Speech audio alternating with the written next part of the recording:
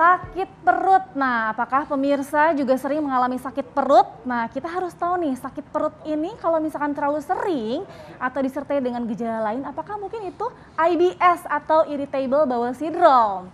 Apa sih IBS itu dan apa sih gejalanya? Nah, kita sudah kedatangan expertnya nih. Ya. Dokter Agastya Wardana, spesialis penyakit dalam KGEH. Ya, Selamat dokter ya? pagi, dokter. Selamat pagi, pagi, selamat dokter. pagi. Dokter Sasa, selamat pagi Dokter Ekles. Oke, dokter, kita langsung aja ke fakta mitos nih. Oke, oke. Yang di masyarakat. Nah, Ya, ya. sering sakit atau kram perut yang berulang, dokter, Ya. adalah gejala bowel syndrome atau IBS, dokter. Fakta atau mitos? Eh, sebenarnya tidak semua sakit perut adalah suatu IBS, tapi dia IBS itu ada gejala-gejala khusus ya yang memiliki kriteria rumah. Jadi dia eh, Jadi mitos, dokter mitos ya? masih bukan bukan fakta mitos ya, ya. mitos ya. Ya. Hmm. Nah, kriteria apa tadi, dok? Kriterianya kita menggunakan kriteria Roma, yaitu syaratnya adalah nyeri perut. Ya, nanti Oke, ada ada, perut. ada ada slide saya, ada nyeri perut. Yang kedua perubahan dari pola defikasi, terus kemudian konsistensi daripada feses, Hmm. adanya apa? muntah atau sendawa, kemudian adanya sembelit, ya. Kemudian ada juga ditandai dengan eh, anemia atau buang airnya bercampur dengan len- lendir. dengan Itu lendir, baru ya. kita katakan itu suatu gambaran IBS. Iya, Oke, memang jadi- nyeri salah satu gejalanya. Iya, Tapi iya, ada iya. juga gejala-gejala yang, ya, yang lain ya, dokter ya. iya, iya. Salah satunya tadi ada perubahan pola buang air besar ya Iya, atau iya, iya. defekasi ya, Iya, iya, dokter iya. ya. Iya. Baik. Oke. Nah, ini di layar nih, Dok. Ya. Nah, Silakan kita slide-nya, ini slide-nya. ada slide yang tadi dokter ya. Ya, ya, ya. Nah. Benar, Jadi benar. kalau misalkan uh, pemirsa di rumah sering sakit perut, Ya. itu belum tentu IBS, harus Ya, tadi ya. memenuhi kriteria Roma yang tadi. Dokter Ya. jelaskan ya. Betul. Nah, Oke, mungkin ya. boleh dijelaskan maksudnya Nah, ada ya. penyempitan atau gimana, Ya, dok? nah, gini. Jadi ini adalah gambaran sederhana. Jadi suatu gambaran irritable bowel syndrome. Ya, pertama dia di sini ada timbulnya rasa nyeri yang hebat, ya kan? Terus di ini adalah perubahan pola defikasi. Kemudian di sini adalah ada gambaran kelainan, ada kembung, mual dan muntah. Baik.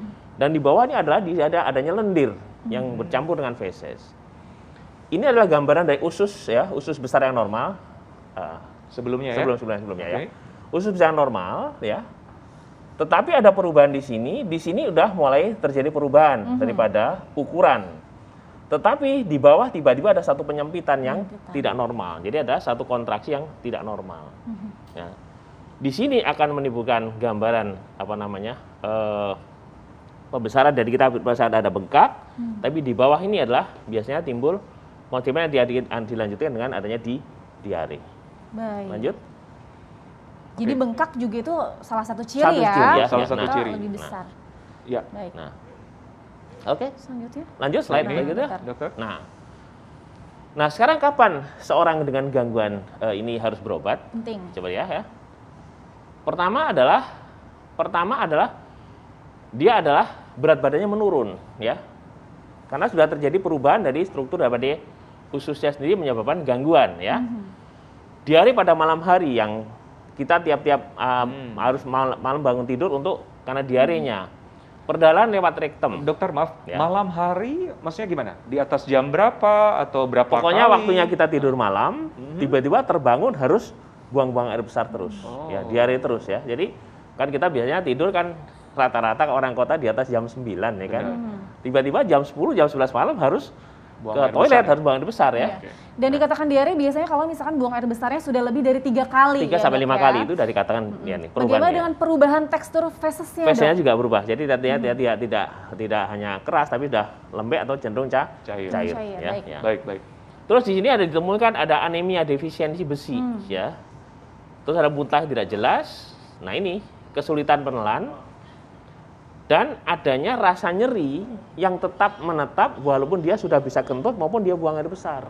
Nah ini adalah salah satu gambaran daripada suatu IBS. Baik. Jadi harus ada tanda-tanda itu baru kita kena IBS. Tapi kalau enggak kita belum Nah, merasakan IBS. eh, dokter, nyeri kan biasanya banyak nih penyakit yang Ya, ya, menyebabkan nyeri perut. Kalau khasnya IBS, nyeri perutnya di mana, dokter? Ya. Bagian mana?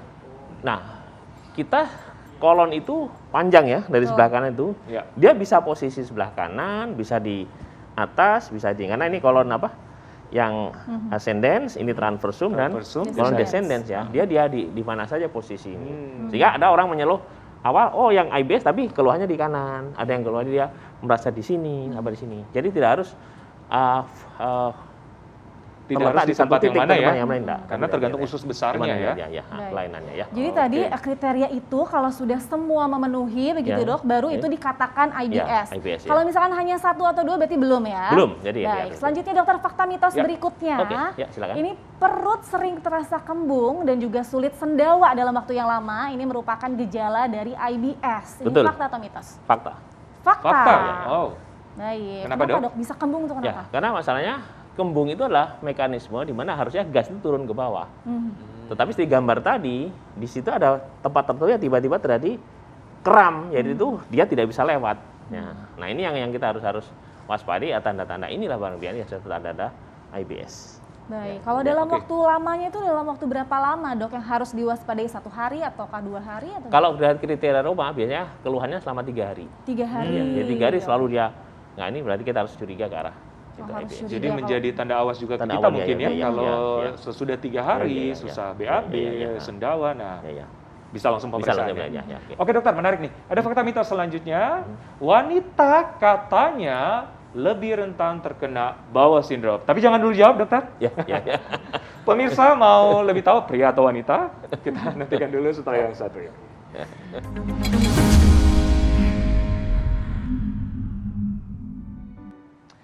Iya, tadi kita udah melihat saluran pencernaan manusia yang ternyata luar biasa ya ciptaan Betul. Tuhan ya.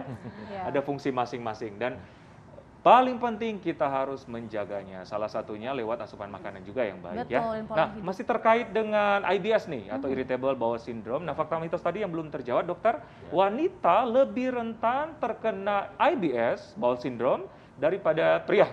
Fakta atau mitos? Fakta. Karena Oh. dari penelitian eh, beberapa Wow. jurnal bahwa memang wanita lebih kasusnya lebih banyak daripada laki-laki. Oke. Ya, ya. Apakah Ya. ada faktor risiko tertentu dok? Ya biasanya orang mengatakan bahwa ini adalah related terhadap hormon ya. Hmm. Pada hormon Oke. biar pada wanita kan lebih lebih pada hormon. Jadi beberapa eh, penelitian menyatakan karena kasusnya pada wanita lebih tinggi pada laki-laki. Ya. Oke, pemirsa di rumah jadi harus lebih hati-hati nih wanita Iya, ya. iya, Kita iya. kita wanita-wanita harus lebih aware ya terkait IBS ini. Tapi bukan berarti juga pria tetap atau kurang waspada ya, harus tetap waspada juga ya. Betul. Oke. Fakta mitos selanjutnya, ini memiliki kebiasaan makan atau minum dalam jumlah yang banyak. Wow. Nah ini dalam sekaligus ya, ini berpotensi untuk mengalami IBS. Fakta atau mitos dokter? Fakta. Fakta. Jadi Fakta juga. dia. Jadi fakta daripada orang yang yang mengkonsumsi yang terlalu berlebihan, memang kita tahu tadi kerja usus kan seperti itu ya. Ya. Jadi pada banyak kasus yang kita temukan pasien-pasien yang sudah terdiagnosis sebagai IBS, banyak yang mereka eh, Makanya mengkonsumsi banyak ya? dalam, dalam banyak dalam waktu singkat. Jadi Oh, itu yang menjadi beban ya. Itu faktanya itu demikian. Kalau konsistensi konsis- konsistensi makanan gimana, Dok? Eh, Apakah keras atau ya. berpengaruh juga, Dok? Yang penting bukan bukan keras atau lunaknya, tapi dari faktanya adalah bahwa mereka yang mengkonsumsi banyak. Karena beberapa eh, beberapa penelitian menyatakan bahwa mereka yang konsumsi dalam jumlah berlebihan adalah memang bisa men- me- menimbulkan gangguan pada IBS ini. Baik, Ya. segala sesuatu yang berlebihan memang Ya. tidak baik ya Kak Ya, ya. ya, ya. Jadi yang cukup aja gitu kan, Hmm, ya, ya, ya. gitu. Eh, dengan bijak ya. Dengan Ya, ya, bijak. ya, ya, ya, ya. Betul, tentunya IBS juga dipengaruhi beberapa faktor yang lain mungkin dokter. Ya, ya, ya. Tadi makan yang berlebihan, wanita lebih uh, sering. Lebih banyak Iya, iya, iya. daripada pria Lebih ya. banyak Ya, ya, dari- ya, ya. Terus katanya juga stres menjadi salah satu pemicunya ini. Ya, Ya. Ya memang pada beberapa kasus ditemukan bahwa ternyata kasus-kasus IBS itu lebih mudah muncul ya pada kasus orang dengan gangguan apa hipokondriak ya. Jadi orangnya depresi atau dia apa namanya kurang percaya diri lah sehingga menghadapi sesuatu dia dengan kegelisahan jadi atau menghadap ke ansitas jadi muncul gangguan itu pada orang-orang dengan keluhan yang dominan pada IBS. Mhm. Ya. Oke, oke, oke. Jadi kita perlu juga Jadi untuk perlu- mengelola. Ya, pengelolaan stres harus Stres. salah satu bentuk pengobatan adalah pengelolaan stres itu. Ya. Baik. Oke. Nah, eh, katanya ini pada benjolan pada perut atau perut membengkak, Ya, ya. dokter, itu Ya. adalah gejala bowel syndrome. Ya, Fakta atau betul. mitos, Fakta, fakta, fakta. Fakta. Ya, Jadi fakta ada ya. ada banyak fakta ya.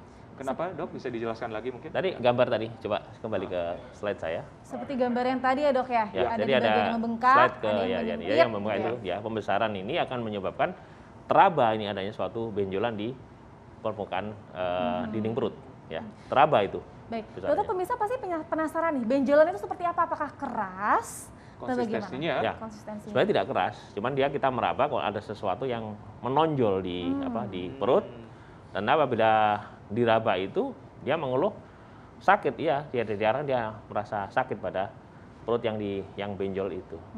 Ini salah satu gejalanya atau harus ada gejala ini dokter? Salah satu gejala, tidak salah harus satu ada gejala. satu gejala. Tapi yang wajib adalah nyeri tadi nyeri ya. tadi ya, nyeri gak perubahan feses terus apa dia Nah. muntah segala macam ya. Baik dokter. Nah ini biasanya nih dok, setelah buang air besar atau misalkan setelah buang buang gas ya dok Hmm. Ya, ya. ya. Nah dalam bentuk kentut gitu ya dok Ya, ya. ya, ya, ya, ya, Betul. nggak Nah, apa-apa. Ini, ini biasanya kalau punya penyakit IBS ini tuh malah nggak lega gitu, nggak ada perbaikan. Iya, tetap saja atau nyerinya tetap sama. Jadi Tetap sama. Fakta ya berarti? Faktanya itu. Ya, jadi dia dengan perubahan walaupun dia sudah ke toilet berkali-kali, dia bisa buang air besar atau dia buang angin sebanyak-banyaknya, tetap saja tetap nyerinya tidak hilang. Tetap tidak hilang. Ya, ya. Waduh, nggak enak banget ya berarti ya. Ya, ya. Kalau yang Oke. punya IBS kayaknya nggak nyaman gitu. Ya, ya, Iya, iya. Ya, Nah, baik. Nah katanya dokter, Hmm? ini terkait juga dengan tadi belum ada obat ya Ya. yang bisa menangani IBS ini. Ya, obat secara spesifik tidak ada, ya. Jadi kita melihat Oke, jadi fakta ya dok? fakta. Jadi ini fakta. Jadi kalau ini obatnya belum ada yang spesifik. Jadi kita akan melihat mengevaluasi berdasarkan kondisi pasien. Orang per orang berbeda. Kenapa? Kita melihat eh, ada kriteria Roma 4 bahwa gambaran IBS itu ada yang tipenya tipe diare, ada tipe konstipasi, ada tipe campuran, ada tipe yang tidak terklasifikasi. Jadi kita akan memberikan pengobatan sesuai dengan Tipenya, gambaran ini, tipe-tipe ini, ya. Baik, Jadi tidak bisa tergantung dia gejala dia ya, ya, ya. Oke. Oke. Salah satu Hmm. Jadi gejalanya tergantung itu. gejala ya. Ya, dari nanti kita lihat itu ya. Nah, gejalanya. berkaitan dengan gejala, salah satu gejalanya katanya adalah wasir. Ah, wasir itu adalah mitos. Oh. Ya, Mitos. Jadi tidak bukan jadi bukan bukan fakta ya. Tidak ada hubungannya karena wasir ini ada gangguan aliran darah di daerah ah, perianal dan disertai kelemahan daripada otot dasar panggul ya. Hmm. Jadi kalau ini tidak bukan eh, IBS bukan sebagai Hmm. penyebab wasir ya. Dokter banyak juga masyarakat yang pasti pengen tahu bahaya nggak dok IBS? Ya. Tidak bahaya, Tidak tetapi mengganggu. Hmm. Gitu ya. Jadi kenyamanan hidupnya menjadi terganggu, ya. Oke. Baik, Ya. baik. Baik. Oke dokter. Oke. Nah berkaitan dengan itu, karena memang ketidaknyamanan juga, Hmm. Nah gimana nih tips supaya kita mewaspadai IBS ataupun mencegah Ya. supaya tidak terjadi IBS? Nomor satu adalah tadi sudah dibahas di depan adalah bagaimana uh, makan ya. Jadi makan yang sesuai dengan kebutuhan kita, tidak berlebihan ya. Dan jenis makanan pun adalah yang tidak memperberat daripada fungsi kerja usus. Yang kedua adalah harus bisa mengelola stres ya kan. Stres itu yang menjadi memperberat ya kan. Terus yang ketiga, hal-hal yang berkaitan dengan bagaimana kerja pencernaan itu harus kita perhatikan. Ya terutama pada kalau orang dia memang punya riwayat infeksi atau dia mengonsumsi obat tertentu, ini harus hati-hati. Ini kan ber- berkaitan dengan bagaimana kerja usus. Yang keempat adalah, yang penting adalah bagaimana dia eh, dalam kehidupan sehari-hari itu bisa seimbang ya antara makan, aktivitas dan istirahat. Ya, itu yang intinya ya intinya begitu pola hidup sehat pola hidup yang ya. sehat yang kita berikan. Karena Hmm. tidak ada obat yang sebaik oh ini pasti dengan obat ini pasti akan sembuh IBS-nya tidak. Baik. Nah IBS ini terakhir nih dok, Ya, ya. penasaran nih. Oke. Mungkin juga pemirsa bertanya-tanya. Nah IBS ini mengarah penyakit ke penyakit serius nggak sih dok? Dari kasus serius itu sangat sedikit ya. Biasanya kalau lihat cenderung ada kalau dia buang air besarnya berdarah terus. Nah itu yang kita waspadai kan.